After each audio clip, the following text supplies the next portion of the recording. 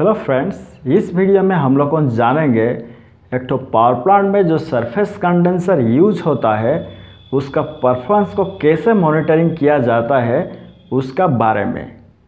तो आगे बढ़ने से पहले इस फिगर को अच्छे तरह से समझ लेते हैं। एक्स एक्सिस में हीट ट्रांसफ़र है वाई एक्सिस में टेम्परेचर है। ये जो स्ट्रेट लाइन है एग्जॉस्ट टू टेम्परेचर है। मतलब कि कंडेंसर में जो एग्जॉस्ट टू टेम्परेचर है, उसको रिप्रेजेंट किया गया है।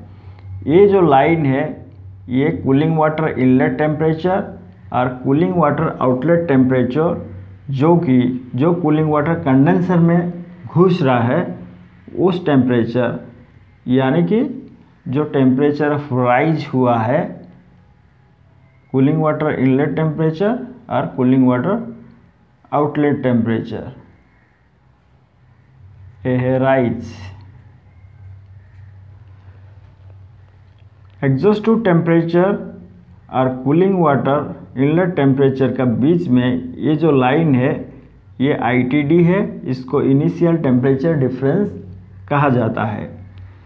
एग्जॉस्ट टू टेम्परेचर और कूलिंग वाटर आउटलेट टेम्परेचर का अंदर में ये जो गैप है, इसको टीटीडी कहते हैं। यानी कि टर्मिनल टेम्परेचर डिफरेंस तो अभी हम लोग को देखेंगे नंबर वन में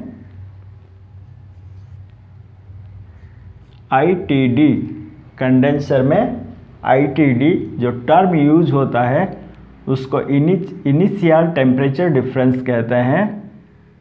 तो आईटीडी कैसे निकाला जाता है? न कंडेंसर का exhaust hood temperature minus cooling water inlet temperature या फिर saturation temperature corresponding to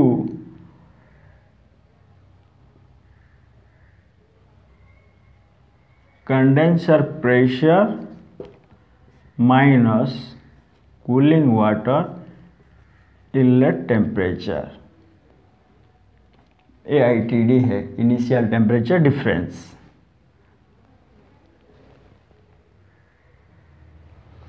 number two में देखेंगे राइज यानी कि एक तो कंडेंसर में राइज है cooling water outlet temperature minus cooling water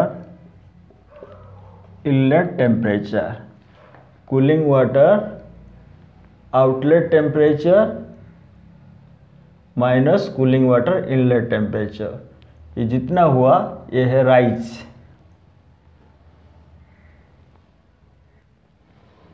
तो नंबर थ्री में देखेंगे कंडेंसर का टीटीडी यानी कि टर्मिनल टेम्परेचर डिफरेंस है।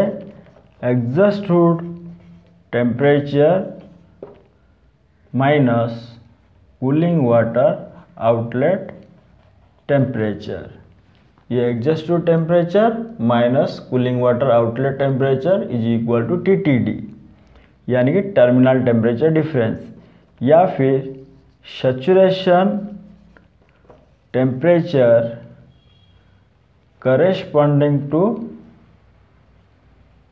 condenser pressure minus cooling water outlet temperature condenser में जो प्रेशर है, उसको लेके जो saturation temperature minus cooling water outlet temperature ये दोनों का डिफरेंस है कंडेंसर का टीटीडी नंबर फोर में देखेंगे एक ठो कंडेंसर का इफेक्टिवनेस और इफिशियंसी कैसे निकालेंगे? कंडेंसर का इफेक्टिवनेस और efficiency is equal to rise divided by I T D यानी कि जो temperature of rise cooling water in outlet minus inlet divided by ITD यानी कि initial temperature difference into hundred इस फार्मूले से आप कंडेंसर का इफेक्टिवनेस और इफ़िशियंसी निकाल पाएँगे। नंबर फाइव में एक तो कंडेंसर का हीट लोड कैसे निकालेंगे? ना, m into C P into del T यहाँ पे जो m है, m is equal to mass flow of cooling water जो कि केजी पर आवर में होना चाहिए। सी पी जो कि स्पेसिफिक हीट है वाटर का वन किलो कैलोरी पर केजी और डेल टी है, जो कि राइज यानी कि कूलिंग वाटर इनलेट ए cooling sorry cooling water outlet minus cooling water inlet उसका जो डिफरेंस है, वो है। नंबर सिक्स में कंडेंसर का वैक्यूम। कंडेंसर का vacuum is equal to atmospheric pressure minus condenser back pressure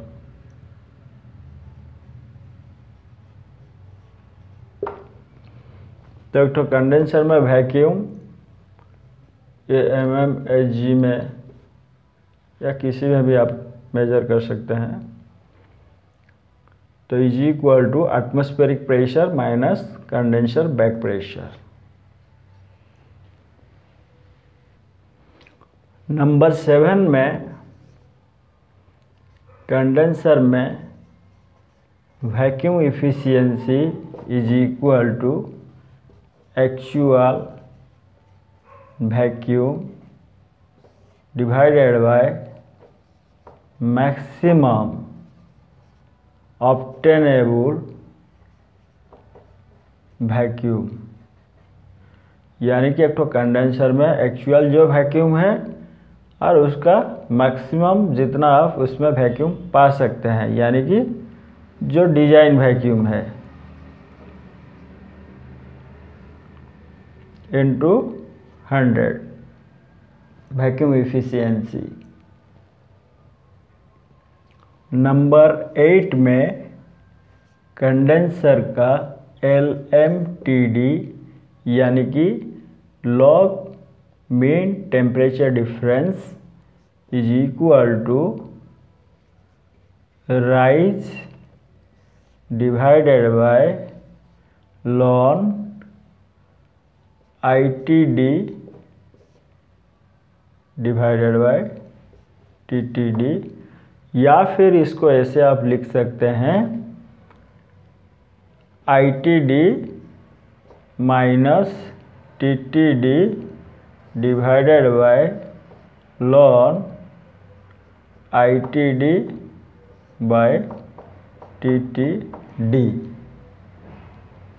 तो उम्मीद करता हूँ दोस्तों, इस वीडियो में ज़रूर आपको कुछ नया चीज़ सीखने के लिए मिला होगा। यदि ये वाला वीडियो आपको अच्छा लगा है तो इसको लाइक, शेयर ज़रूर कीजिए। यदि आप मेरे चैनल पर नया आए हैं तो चैनल को सब्सक्राइब कर दीजिए। इसी तरह टेक्निकल वीडियो पाने के लिए तो रहता हूँ दोस्तों। Thank you bye bye